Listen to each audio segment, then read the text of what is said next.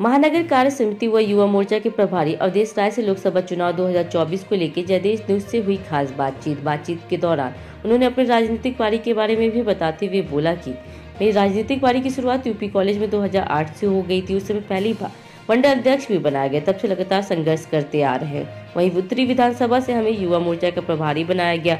तब से लेकर अब तक हमने अपने युवाओं तथा कार्यकर्ताओं के लिए काम किया है वर्तमान में बीजेपी की तरफ़ से महानगर कार्य समिति के दायित्व भी मिला हुआ। विकास के कार्यों के आधार पर हम लोग जनता के बीच जा रहे हैं और जनता का भरपूर प्यार और समर्थन भी मिल रहा। बीजेपी से जुड़ने के बारे में उन्होंने कहा कि पीएम मोदी और सीएम योगी से प्रभावित होकर राजनीति कर रहे हैं। 2024 लोकसभा चुनाव के बारे में आगे कहा कि इस बार भी मोदी जी रिकॉर्ड मतों से जीतेंगे।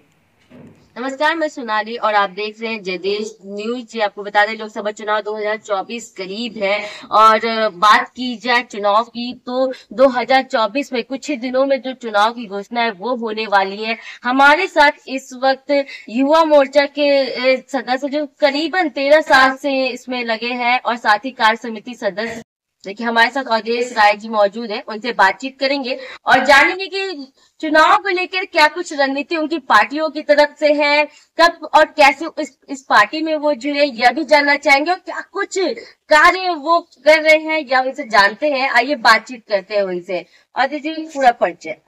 नमस्कार अवधेश राय नाम है हमारा और भारतीय जनता पार्टी ने सबसे पहले 2008 में जब हम लोग कॉलेज में पढ़ते थे जी। यूपी कॉलेज में तो उस समय से जो है भारतीय जनता युवा मोर्चा की राजनीति हम लोग कर रहे हैं। जी। और भारतीय जनता युवा मोर्चा में पहली बार 2008 में मंडल अध्यक्ष बनाए गए हम। और तब से लगातार संघर्ष करते रहे हैं धरना प्रदर्शन से लेकर के दिल्ली से लेकर लखनऊ तक लाठियाँ भी खाए हैं। और युवा मोर्चा में मंडल अध्यक्ष दो हज़ार ग्यारह तक जो है मतलब अध्यक्ष रहे हैं। बारह में जो है महानगर के उपाध्यक्ष बनाए गए और तब से लगातार जो है युवा मोर्चा में काम में किया है। महानगर के महामंत्री भी रहे हैं महानगर के उपाध्यक्ष भी रहे हैं। और उत्तरी विधानसभा के अपने जहाँ से अरविंद जायसवाल जी विधायक हैं मंत्री हैं। वहाँ से हम लोग जो है लगातार 2014 प्रधानमंत्री जी के चुनाव से 2014 से लगातार प्रभारी उनको युवा मोर्चा का बनाया गया और हमने लगातार काम किया है सड़कों पे युवाओं को लेकर के और अपने भाइयों कार्यकर्ताओं के साथ मिलकर के। और अभी वर्तमान में भारतीय जनता पार्टी के महानगर कार्य समिति सदस्य का दायित्व हमको मिला हुआ है विद्यासागर राय जी की टीम में। जी। और चुनाव को लेकर के हम लोग की रणनीति जो चल रही है कि विकास के कार्यों के आधार पर हम जनता के बीच में जा रहे हैं और लगातार जो है हम लोग को जनता का समर्थन मिल रहा है। देखिए करीबन आप कितने दिनों से इस पार्टी में जुड़े हुए आपसे यह जानना चाहेंगे इंस्पायर्ड आप किससे हुए हमने तो भारतीय जनता पार्टी विचारधाराओं की पार्टी और इसकी विचारधाराओं से जुड़ने का सौभाग्य हमें प्राप्त हुआ है। बाद में प्रधानमंत्री नरेंद्र मोदी जी के नेतृत्व में 2014 से लगातार हम उनके सांसद रहे हैं। तो हम्म। हम लोग को उन्हीं से इंस्पायर होकर के और आदरणीय योगी जी से इंस्पायर होकर के हम लोग राजनीति कर रहे हैं और युवाओं को लेकर के अपने जनता में लगातार हम लोग बने हुए हैं। जी, अगर चुनाव की बात की जाए, लोकसभा चुनाव 2024 करीब है। क्या रणनीति आपकी पार्टी की तरफ़ से, क्या क्योंकि तीन राज्यों की भी बात की जाए, जीत भरपूर मिली है। ये बनारस काशी की बात की जाए प्रधानमंत्री करीबन दो बार से यहाँ से सांसद भी रह रहे हैं प्रधान चुने जा रहे हैं। क्या कहेंगे इस बार क्या? इस बार तो और भी रिकॉर्ड तोड़ वोटों से जो है हम लोग यहाँ से लीड करेंगे प्रधानमंत्री को जीत करके भेजेंगे फिर प्रधानमंत्री बनाएँगे। जी। और इस बार तो खैर विकास की बात करेंगे तो आप पूर्वांचल में पूर्वांचल क्या उत्तर प्रदेश में कहीं पे भी आप जाइए किसी भी कोने में जाइए तो सड़कें से लेकर के सारी व्यवस्थित ढंग से जो विकास हुआ वो एक्चुअल में दिख रहा है। और मंदिर हमारा देख लीजिए राम मंदिर बाईस तारीख को वो है प्राण प्रतिष्ठा है मूर्ति का। जी। तो और बाकी कॉरिडोर बनास का वहाँ विश्वनाथ की नदी टूरिज़्म बढ़ रहा है यहाँ पे लोगों का व्यवसाय बढ़ रहा है। हम्म। और साफ़ सफ़ाई हर चीज़ें जो है ट्रैक पे है। और यह भी आपसे यह जानना चाहेंगे क्या आगे की रणनीति है कि कुछ नया होने वाला है इस बार? क्योंकि आप लोग की अगर बात की जाए, आप लोग भारतीय जनता पार्टी से जुड़े हुए, जब भी प्रधानमंत्री नरेंद्र मोदी काशी आते हैं, बहुत जोश देखने को मिलता है उनके स्वागत के लिए। यहाँ पे भी कार्य करते पर बात की जाए तो काशी में शहर में तो विकास दिख रहा है, पर गाँव के कुछ ऐसे एरिया है जहाँ अभी तक काम नहीं हुए तो उस पर क्या सोचा है आपने? नहीं नहीं, ऐसा कुछ नहीं है। और रही बात काशी के अंदर शहर में या गाँव में भी आप चले जाइए क्या नाम है तो विकास के कार्यों में भाई जो सरकारी स्कूलें हैं या सरकारी स्वास्थ्य विभाग के अस्पताल हैं या आपके सड़कें हैं काफ़ी किन चीज़ों पे क्या नाम है जो है वर्क किया गया देखिए सरकारी योजनाओं की बात की जाए हमारी टीम भी पहुँची थी। कई ऐसे लाभार्थी हैं जिन्हें इसका अभी भी लाभ नहीं मिल पा रहा है। तो कहाँ कमी हो जा रही है कि अभी तक गाँव में लाभ नहीं मिल पा रहा है योजनाओं का? जैसे पेंशन योजना हो गया आपका आयुष्मान कार्ड योजना अभी भी नहीं। लोग वंचित है उससे क्या कहेंगे? सबसे ज़्यादा तो गाँव में ही इसका जो है लाभ लिया जा रहा है। हम्म। और लाभार्थियों को लाभ भी मिल रहा है और हम लोग सूची बना करके बराबर भारतीय जनता पार्टी कार्यकर्ता जा जाकर गाँव गाँव में हम्म, इसका वो कर रहे हैं लोगों को जागरूक कर रहे हैं इसके लिए और उनको योजनाओं के बारे में बता रहे हैं और योजनाओं का लाभ दिला रहे हैं। जी। तो इसमें तो कोई संशय नहीं है हो सकता है कहीं कुछ छूटा हो आपकी नज़र में आ गया हो। जी। ये बात की जाए अगर विपक्ष की। इंडिया बन के गठबंधन बनकर काम हो रहा है। क्या लगता है इस वक्त कड़ी टक्कर दे पाएगी भारतीय जनता पार्टी को गठबंधन?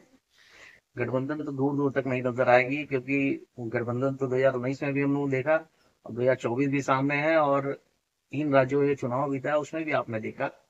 हंड्रेड परसेंट सफलता हम लोग को मिलेगी और कहीं दूर दूर तक गठबंधन का कहीं नाम मिल जाएगा। देखिए आरोपों की अगर बात की जाए तो विपक्ष से हमेशा आरोप लगता आया है भारतीय जनता पार्टी की। जो भी कार्य है जो पहले से चले आ रहे हैं बाकी पार्टी के थ्रू वो वही आगे बढ़ा है। कुछ नया नहीं हुआ कुछ नया विकास नहीं या नई सोच नहीं हुई है। उस पर क्या कहेंगे आप? ये भारतीय जनता पार्टी के नेतृत्व करता आदरणीय मोदी जी के नेतृत्व में देश में और आदरणीय योगी जी के नेतृत्व में उत्तर प्रदेश में जो विकास के कार्य हुए हैं उस पर कहीं कोई संशय किसी बात की भी किसी को नहीं है पब्लिक को नहीं है। हाँ ये है कि नेताओं का है राजनीति में लोग एक दूसरे के पे आरोप प्रत्यारोप करते हैं या ऊँचा नीचा दिखाते हैं लेकिन उसका कोई मतलब नहीं है। और आरोप तो लग रहे हैं कोई दिक्कत नहीं है या ऊँचा नीचा दिखा रहे हैं लोग उससे हमें घबराने की ज़रूरत नहीं है। और हमारे प्रधानमंत्री जी जो है नेतृत्व के चलते हैं उसी तरह से हम भी कार्यकर्ता जो है लगातार सड़कों पे और लोगों के बीच में बने हुए हैं। जी सुनने में अयोध्या को भी लेकर आपका कोई प्रोग्राम होने वाला है उसके बारे में जानना चाहेंगे? अयोध्या में बाईस तारीख को जो है मूर्ति का प्राण प्रतिष्ठा हम्म।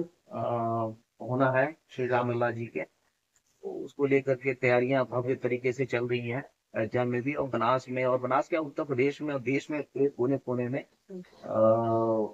भारतीय जनता पार्टी के कार्यकर्ताओं प्लस रोड पे जो पब्लिक आम जनता आएगी हम्म। खुद उत्साहित है कि भाई अयोध्या में जो भव्य राम मंदिर बन रहा है उसको लेकर के जो उत्साहित हम्म।